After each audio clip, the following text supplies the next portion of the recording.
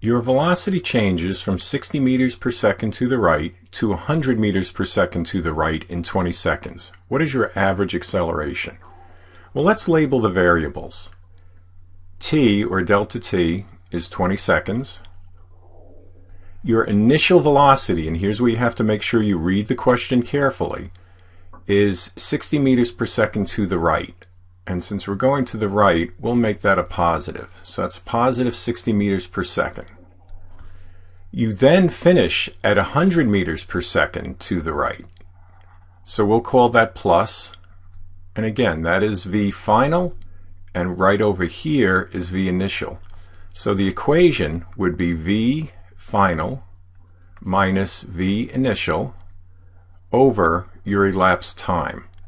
So we'll pull the answer out, see how they did.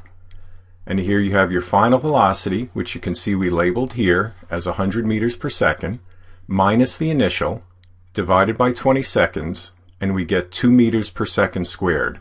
Note how the units work. We have meters per second inside the parentheses. You divide that by second, and you wind up with meters per second. So that's kind of a second check on your work.